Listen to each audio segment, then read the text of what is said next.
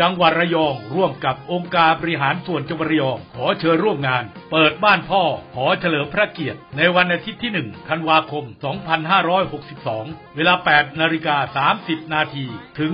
22 นาฬิกา ณ อ่างเก็บน้ำดอกกลาย อำเภอปลวกแดง จังหวัดระยอง พื่อน้อมรำลึกถึงคำสอนของพ่อ พระบาทสมเด็จพระบรมชนากาธิเบศมหาภูมิพลอดุลยเดชมหาราช บรมนาถบพิตรในหลวงรัชกาลที่ 9 และร่วมถ่ายทอดความทรงจำและรำลึกผ่าน เรื่องราวราชกรณียกิจที่จัดแสดงอยู่รอบงาน และนิทรรศการมัลติมีเดีย ในหอเฉลิมพระเกียรติ พร้อมชวนชิม อาหารท้องถิ่นช็อปสินค้าโอท็อปของจังหวัดระยอง สนุกไปกับดนตรี ศิลปินแถวหน้า และรื่นเริงไปกับจุดถ่ายรูป 9 โซนเด็ดที่ผสมผสานกับพระราชกรณียกิจ และศิลปะจัดวางร่วมสมัย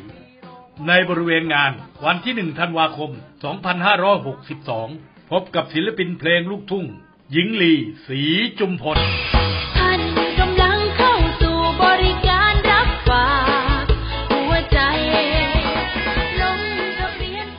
วันที่ 2 ธันวาคม 2562 พบกับศิลปินเพลงดัง แช่ม แช่มรำจดจำไว้นะใจเจ้ากามตอกเลยย้ำให้จำฝังใจ ใส่โอ่งหิน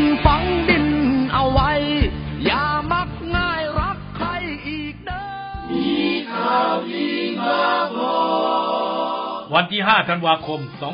2562 ชมการบรรเลงเพลงออกเครต้าของวงดุริยางซิมโฟนีกรุงเทพ ร่วมด้วยศิลปินพิเศษร่วมขับร้อง โดยกันนพัฒน์อินใจเกื้อ ต้นธนสิทธิ์จตุรพุทธและน้ำมนต์เทียรนัย ณ หนองคาย นำเสนอบทเพลงพระราชนิพนธ์อันไพเราะอย่างมากมาย อาทิเช่น